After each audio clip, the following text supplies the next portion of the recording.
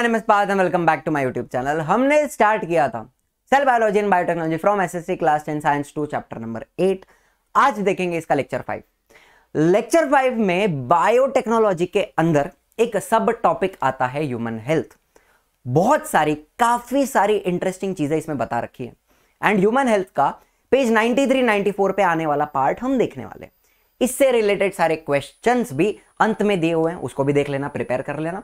And if you are new to channel subscribe करना share करना video को like भी करना। तो चलिए शुरू करते हैं अब ह्यूमन हेल्थ में दो इंपॉर्टेंट चीज़ें होती हैं। कितनी? दो। नंबर वन इज़ डायग्नोसिस मतलब मान लो एक दिन सुबह उठकर मुझे अलग अलग फीलिंग्स आने लगी। मेरा पेट दुख रहा है, जुलाब हो रखा है रैशेज आ रहे हैं, आँख में खुजली आ रही है फीवर आ रहा है। तो ये सारे सिम्टम्स लेकर मैं डॉक्टर के पास गया।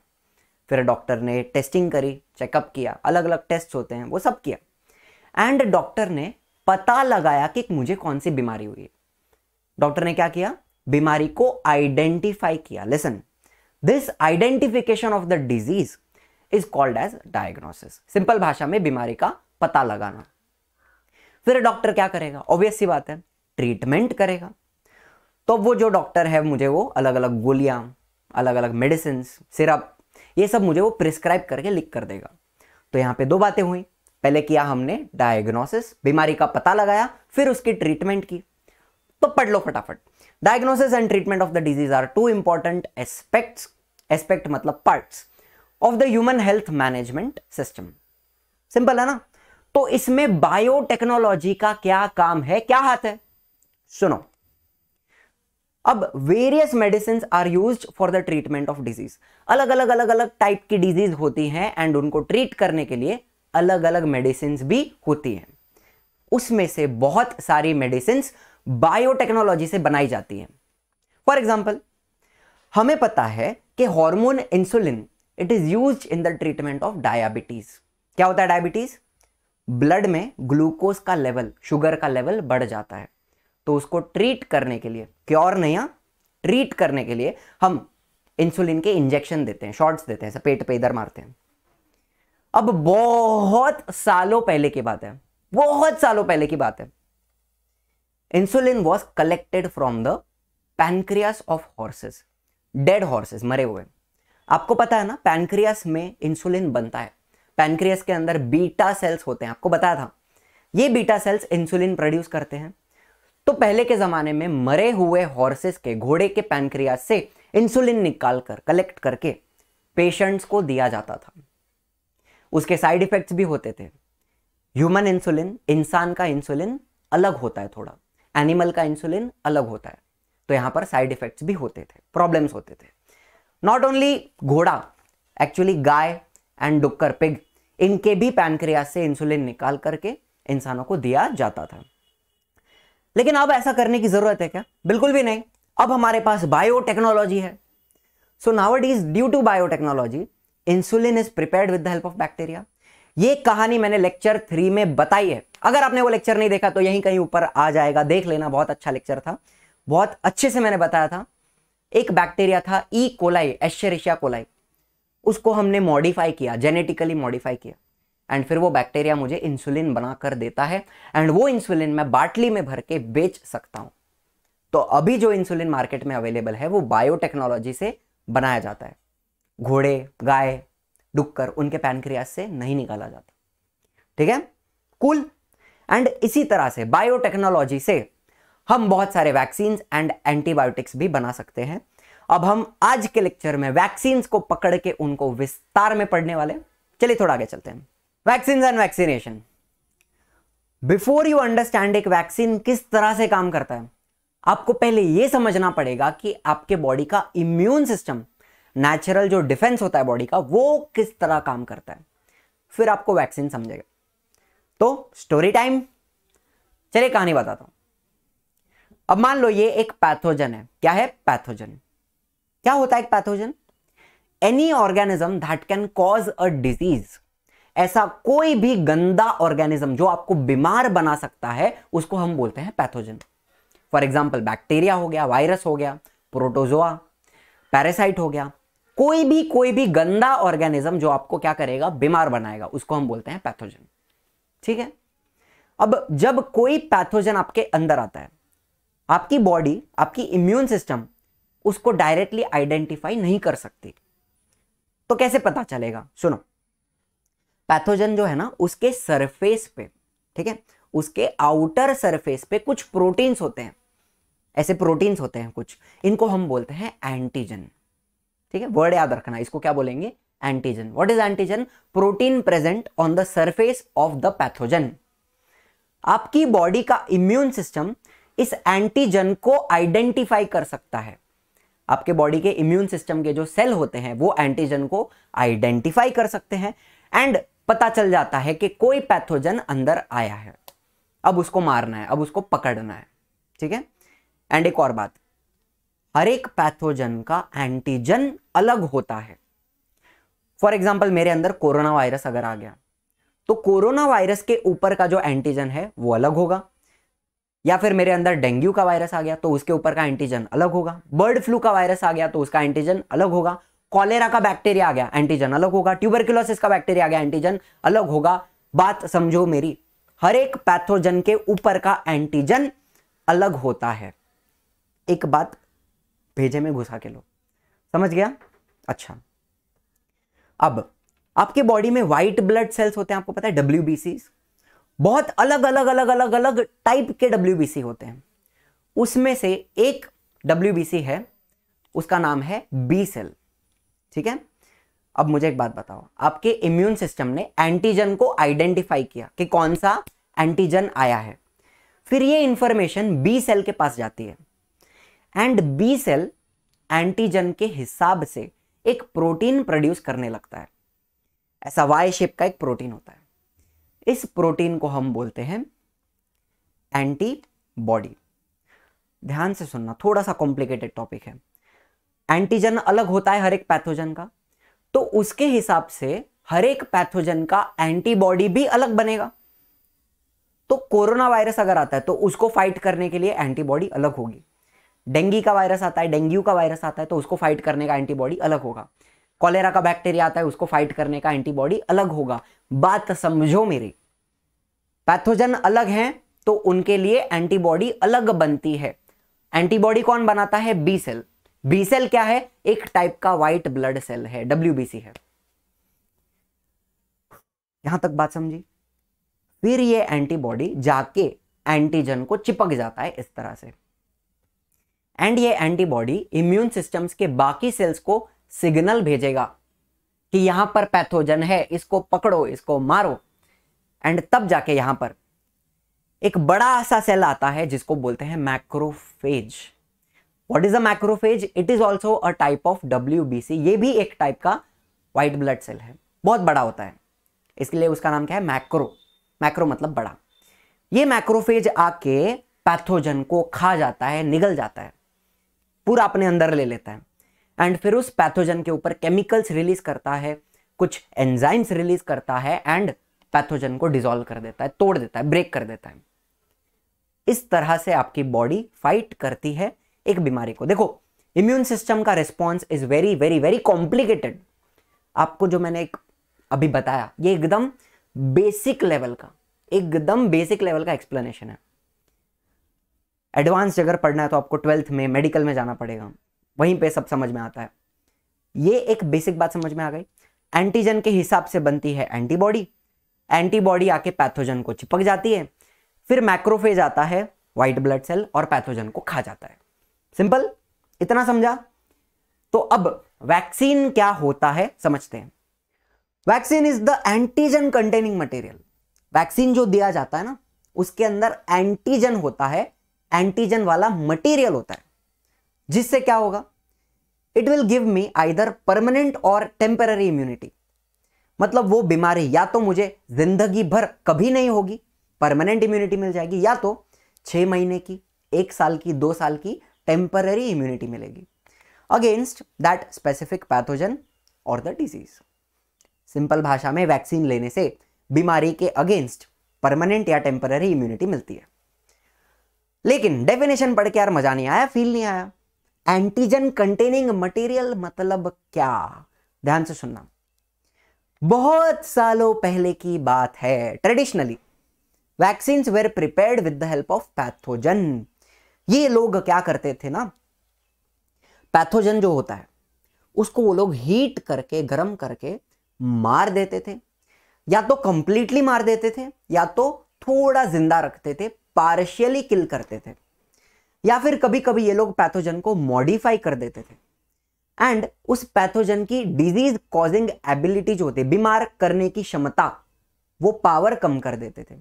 उस पैथोजन को वीक बना देते थे। तो ये लोग ने क्या किया? ये लोग ने या तो कंप्लीटली या तो पार्शियली किल किया पैथोजन को, गर्म करके। एंड फिर उस पैथोजन को बॉडी में इंजेक्ट किया जाता था एज अ वैक्सीन तो इसका फ़ायदा क्या? इससे क्या होएगा? एक बात बताओ, पैथोजन मरा हुआ है। मुझे बीमारी होगी नहीं, लेकिन उस पैथोजन के सरफेस पे एंटीजन प्रेजेंट है। मेरी बॉडी एंटीजन को आइडेंटिफाई कर सकती है। एंड उस एंटीजन के हिसाब से मेरी इम्यून सिस्टम, बी सेल्स क्या बनाते हैं? एंटीबॉडीज बनाते हैं। एंड एक बार अगर एंटीबॉडीज बन गई ना, आपके इम्यून सिस्टम में एंटीबॉडीज की मेमोरी रह जाती है।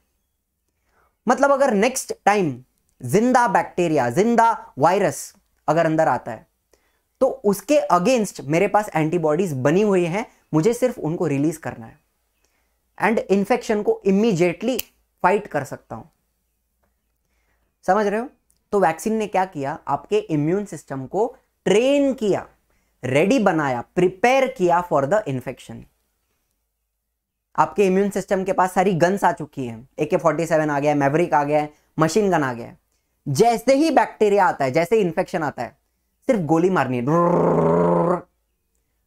एंटीबॉडीज छोड़नी है समझ रहा है ये होता है वैक्सीन आपके इम्यून सिस्टम को ट्रेन करता है लेकिन एक छोटी सी प्रॉब्लम है यहाँ पे भी तकलीफ़ है सुनो कभी कभी ऐसा होता था ना there were chances of contracting the disease in case of some person कुछ लोग होते हैं जिनकी इम्यून सिस्टम थोड़ी वीक होती है।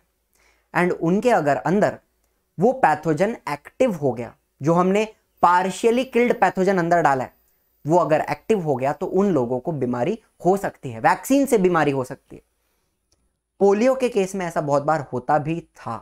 काफ़ी सारे लोग थे जो वैक्सीन के वजह से बीमार हो गए, उनको पोलियो हो गया। दो बूंद ज़िंदगी के लेने गए थे, वही दो बूंद ने ज़िंदगी बर्बाद कर दी। तो इसका सॉल्यूशन क्या है? तो अब साइंटिस्ट लोग क्या कर रहे हैं? Scientist tried to artificially produce vaccine vaccine को आर्टिफिशियली बनाएँगे with the help of biotechnology कैसे? देखो। चलो, ये पैथोजन है। पैथोजन के सरफेस पे क्या होता है? क्या होता है? एंटीजन होता है। ये रहा एंटीजन एंटीजन एक टाइप का प्रोटीन है। आपको भी पता है, मुझे भी पता है। अब ये प्रोटीन कौन बनाता है? जीन बनाता है। फ़र्स्ट चैप्टर में हमने पढ़ा है। जीन बनाता है प्रोटीन। प्रोटीन सिंथेसिस का पूरा प्रोसेस। ट्रांसक्रिप्शन, ट्रांसलेशन, ट्रांसलोकेशन, ये सब होता है, राइट?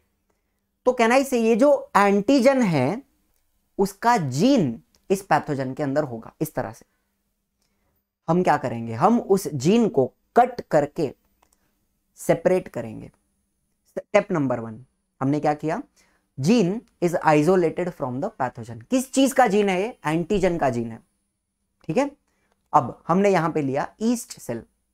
ईस्ट क्या होता है? Unicellular fungus, single celled fungus, जिसको ब्रेड मेकिंग में, अल्कोहल प्रोडक्शन में यूज़ करते हैं। हमने उस जीन को ईस्ट के डीएनए के साथ मर्ज कर दिया, कंबाइन कर दिया। तो अब आप बताओ, क्या ये ईस्ट सेल एंटीजन प्रोड्यूस कर सकता है? बिल्कुल कर सकता है। एंड इसी तरह से साइंटिस्ट लोग एंटीजन को लेबोरेटरी में बनाते हैं। प्योर एंटीजन तो अब हम क्या कर सकते हैं? Now the proteins which act as antigen they are injected in the pure form body के अंदर हम सिर्फ़ एंटीजन को इंजेक्ट करेंगे instead of injecting the killed or semi killed pathogen हमें अब पैथोजन इंजेक्ट करने की ज़रूरत नहीं है। सिर्फ़ एंटीजन को इंजेक्ट करेंगे तो क्या होगा? मेरी इम्यून सिस्टम उसको आइडेंटिफाई करेगी एंड उसके रेस्पॉन्स में एंटीबॉडीज बनाएगी। समझ रहे हो? एंटीबॉडीज बन चुकी हैं। मेरी इम्यून सिस्टम एक्टिव हो गई है। तो अब अगर एक्चुअल बैक्टीरिया आता है इन्फेक्शन आता है, मैं उसको फाइट कर सकता हूँ। समझ रहे हो? तो यहाँ पे क्या किया? These proteins antigen they will keep the person away from the disease by keeping the immune system active. And thus safer vaccines are produced. अब पैथोजन डालने की ज़रूरत नहीं है। बिल्कुल क्लियर हो गई बात? एंड एक और बात, ये जो वैक्सीन है ना produce with the help of biotechnology they are more thermostable thermo मतलब टेम्परेचर जो पुराने वैक्सीन होते थे पैथोजन वाले, उनको एकदम कोल्ड स्टोरेज में रखना पड़ता था लो टेम्परेचर पे। लेकिन जो नए वाले वैक्सीन है मॉडर्न वैक्सीन इनको हम रूम टेम्परेचर पे भी रख सकते हैं। ठीक है? They are temperature stable and they will remain active for longer duration लंबे टाइम तक चलते हैं। एंड एक आखिरी बात। हेपेटाइटिस एंड पोलियो इनके वैक्सीन इस तरह से बनाए गए हैं एंड और भी बहुत सारी बीमारियाँ हैं जिनके वैक्सीन इस तरह से बायोटेक्नोलॉजी से बनते हैं। तो आई होप ये वैक्सीनेशन वाला पार्ट एकदम एकदम एकदम क्लियर यहाँ पर हो चुका है। पक्का? चलिए थोड़ा आगे चलते हैं। तो यहाँ कुछ नया लाए हैं हमारे Baba Ranchhod Das edible vaccine edible मतलब जिसको आप खा सकते हो। देखो work on the production of edible vaccine is in progress and potatoes are produced with the help of biotechnology ऐसा बटाटा बनाया है, ऐसा पोटैटो बनाया है जिसको अगर आप खा लो, आपको क्या मिलेगा? इम्यूनिटी मिल जाएगा, आपको बीमारी नहीं होगी। ये क्या जादू है? ये क्या मज़ाक है? चलो बताता हूँ। ये हमारा पैथोजन पैथोजन के ऊपर एंटीजन एंड एंटीजन बनाने वाला जीन उसके अंदर है। बराबर? स्टेप नंबर वन हम उस जीन को काट के सेपरेट कर देंगे आइसोलेट कर देंगे। तो क्या बोलने का? Isolation of the desired gene from the human pathogen human pathogen मतलब क्या? ऐसा ऑर्गेनिज्म जो ह्यूमंस को बीमार बनाता है। ठीक है? उसको हम ह्यूमन पैथोजन बोलेंगे। जीन को काट करके बाहर निकाल लिया।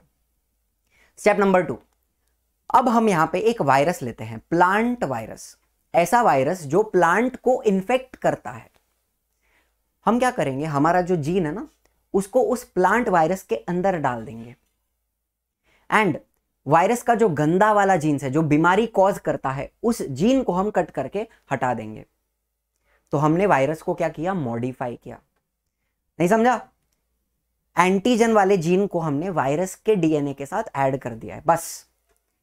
वायरस को मॉडिफाई किया। इसको हम बोलेंगे ट्रांसजेनिक प्लांट वायरस ट्रांसजेनिक मतलब मॉडिफाइड ठीक है?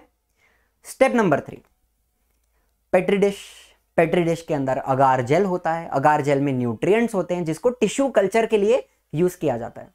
लेक्चर थ्री में आपको बताया था। अब हमने पोटैटो का जो प्लांट होता है, उसके जो लीफ हैं, उसको कट करके पेट्री डिश में रखा हुआ है। अब हम हमारे वायरस को ट्रांसजेनिक प्लांट वायरस उसको हम पोटैटो के लीफ के ऊपर छोड़ देंगे। वायरस लीफ को इन्फेक्ट करेगा। सॉरी एंड ये वायरस क्या करता है? ध्यान से सुनना। एंटीजन वाला जो जीन है ना वायरस उस जीन को प्लांट के डीएनए के साथ ऐड कर देता है। आई रिपीट वायरस एंटीजन वाले जीन को प्लांट के डीएनए में डाल देता है। Virus is like a postman क्या करेगा वायरस? डिलीवरी करता है, बस। हमने जीन को वायरस में डाला। वायरस ने उस जीन को प्लांट में डाल दिया, प्लांट को मॉडिफाई कर दिया। तो स्टेप नंबर थ्री क्या बोलेंगे? Virus infects the pieces of potato leaves. अब वो पोटैटो के लीफ मॉडिफाई हो चुके हैं। एंड क्या हम टिश्यू कल्चर से पूरा प्लांट ग्रो कर सकते हैं? ग्रो कर सकते हैं, बिल्कुल कर सकते हैं। Entire plant is developed from the leaf pieces containing the genes of human pathogen पूरा प्लांट हमने ग्रो किया, उसके ऊपर पोटैटो भी आए। अब मुझे आप बात बताओ, क्या उस बटाटे के अंदर एंटीजन बनेगा? हमने जीन तो डाल दिया था ना प्लांट में तो अब पोटैटो के अंदर एंटीजन बनेगा। एंड अगर मैं उस पोटैटो को खा लूँ तो वो एंटीजन मेरे अंदर जाएगा। मेरी इम्यून सिस्टम उसको आइडेंटिफाई करेगी एंड एंटीबॉडीज बना देगी। समझ रहे हो? बटाटा खाओ एंटीबॉडीज बन गए। एंटीबॉडीज बन गए मतलब आपको इम्यूनिटी मिल गई। तो देखो लास्ट स्टेप मैं हट जाता हूँ। कंजम्पशन ऑफ़ रॉ पोटैटो ध्यान से सुनना। रॉ मतलब क्या? कच्चा। Raw potatoes will help to develop immunity against that pathogen सारे स्टेप समझ रहे हैं? एक और बार। एंटीजन वाला जीन आइसोलेट किया। जीन को वायरस में डाला। वायरस ने उसको पोटैटो के लीफ में डाला। टिश्यू कल्चर से पूरा प्लांट उगाया। पोटैटो में एंटीजन आया, हमने उसको खाया, मुझे मिली इम्यूनिटी समझ रहे हो कहानी? इसको लेबल करने के लिए एग्ज़ाम में पूछा जाता है। तो इसके लेबलिंग्स आपको आने चाहिए। ड्रॉ करने के लिए नहीं आएगा। ठीक? चलो। फिर कौन से कौन से बीमारी के लिए ऐसे बटाटे बनाए गए हैं? देखो potatoes will help against bacteria like escherichia coli E coli अब उसका पूरा नाम पढ़ लो। Escherichia coli and vibrio cholerae so consumption of these raw potatoes कच्चा potatoes will generate immunity against cholera cholera कौन कॉज करता है? Vibrio cholerae and the disease caused due to E coli E coli diarrhoea cause करता है, जुलाब. E coli is a जुलाब causing bacteria ये याद रखना, ठीक है? पेट गड़बड़ करता है. तो इन दोनों के अगेंस्ट आपको मिलेगी immunity by eating raw potatoes लेकिन एक सवाल है यहाँ पे। रॉ ही क्यों खाना है? कच्चा ही क्यों खाना है? What will happen if this potatoes are cooked उनको अगर मैं बॉईल करूँ, उनको अगर मैं गर्म करूँ तो जो एंटीजन होता है ना, वो ब्रेक हो जाता है। वो जो प्रोटीन है, वो हाई टेम्परेचर पे रह नहीं पाता, वो ब्रेक हो जाएगा। एंड अगर एंटीजन ही नहीं है तो कुछ मतलब ही नहीं बनता है पोटैटो का। इसलिए एक दिक्कत है, उसको आपको कच्चा खाना पड़ेगा। ठीक है? सिंपल यहाँ तक सब कुछ समझ गया? चलिए थोड़ा आगे चलते हैं। चलो तो सारी खतरनाक वाली बातें हो गई डिफ़िकल्ट वाली हैवी बातें हो गई तो कुछ हल्का फुल्का पढ़ लेते हैं यहाँ पे। ट्रीटमेंट क्या बोला है? Biotechnology is useful for the production of proteins such as insulin अब मुझे पता है इंसुलिन एक हार्मोन है। इंसुलिन एक हार्मोन है, लेकिन केमिकली इंसुलिन एक प्रोटीन भी है। इनफैक्ट बहुत सारे हॉर्मोन्स है बॉडी में जो क्या है? प्रोटीन है। प्रोटीन बेस्ड हॉर्मोन्स ठीक है? तो इंसुलिन क्या है? एक टाइप का प्रोटीन है। एंड इसको किसके ट्रीटमेंट में यूज़ किया जाता है? डायबिटीज़ के ट्रीटमेंट में यूज़ किया जाता है, हमें पता है। उसी तरह से एक और हार्मोन होता है सोमैटोट्रोपिन एंड ये सोमैटोट्रोपिन भी क्या है? एक टाइप का प्रोटीन है। नाम थोड़ा कॉम्प्लिकेटेड लग रहा होगा, लेकिन नाइन्थ में हमने ग्रोथ हार्मोन पढ़ा है ह्यूमन ग्रोथ हार्मोन उसी का दूसरा नाम है सोमैटोट्रोपिन एंड इसको हम ड्वॉर्फिज्म के ट्रीटमेंट में यूज़ करते हैं। ड्वॉर्फिज्म क्या होता है? हाइट बहुत कम होती है उन लोगों की। एंड उनको अगर सोमैटोट्रोपिन का इंजेक्शन दिया जाए ग्रोथ हार्मोन का इंजेक्शन दिया जाए तो उनकी हाइट बढ़ेगी।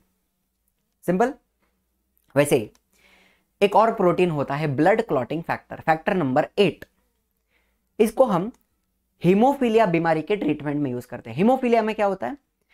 उनका खून क्लॉट नहीं होता। मान लो कि यहाँ पे मैंने एक कट हो गया, कुछ लग गया तो मेरा खून बहेगा। लेकिन आफ्टर सम टाइम वो खून जम जाता है क्लॉट हो जाता है। लेकिन जिनको हीमोफीलिया है ना, उनका खून जमता नहीं है। अगर उनको कट हो गया तो उनका खून बहते ही रहेगा। समझ रहे हो? ब्लड क्लॉट नहीं होता है। तो उनको ये ब्लड क्लॉटिंग फैक्टर दिया जाएगा, जिससे उनका खून जम जाएगा एंड उनका ब्लीडिंग स्टॉप हो जाएगा। ठीक है? हेमोफीलिया समझ गया? सिंपल फिर एरिथ्रोपोएटिन प्रोनाउंसिएशन पे ध्यान देना एरिथ्रोपोएटिन इसको हम यूज़ करते हैं अनीमिया के ट्रीटमेंट में। अनीमिया में क्या होता है? आपका जो रेड ब्लड सेल है आरबीसी उसका प्रोडक्शन कम हो जाता है। आपके बॉडी में रेड ब्लड सेल की क्वांटिटी कम हो जाती है। तो ये एरिथ्रोपोइटिन से क्या होएगा? रेड ब्लड सेल का प्रोडक्शन बढ़ेगा।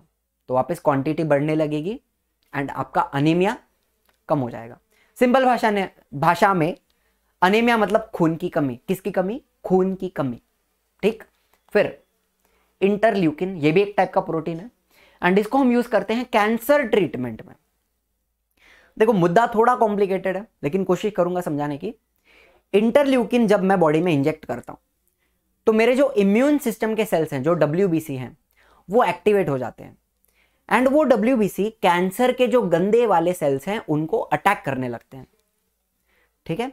डब्ल्यू आपके कैंसर सेल को धीरे धीरे अटैक कर रहे हैं, खत्म कर रहे हैं एंड आपका कैंसर कम होने लगेगा। समझ रहे हो?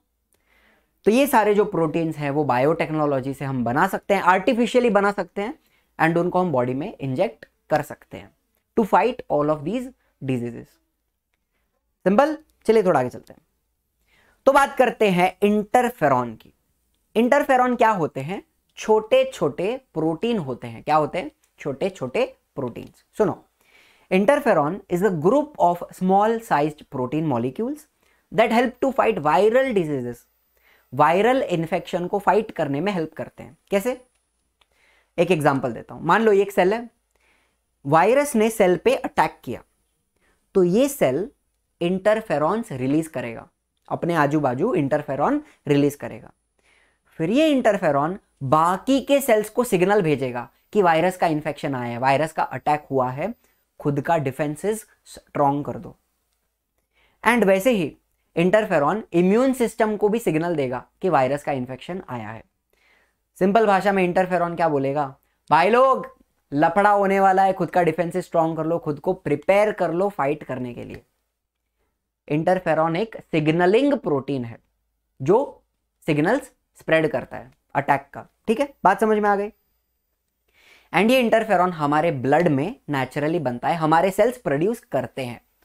This is produce in the blood लेकिन मान लो कोई पेशेंट है जिसका इंफेक्शन बहुत बढ़ चुका है एंड वो पेशेंट खुद फाइट नहीं कर पा रहा है, उसके पास इंटरफेरॉन कम हो गया है। तो क्या हम बाहर से इंटरफेरॉन का इंजेक्शन दे सकते हैं? बिल्कुल दे सकते हैं। तो यहाँ पर देखो।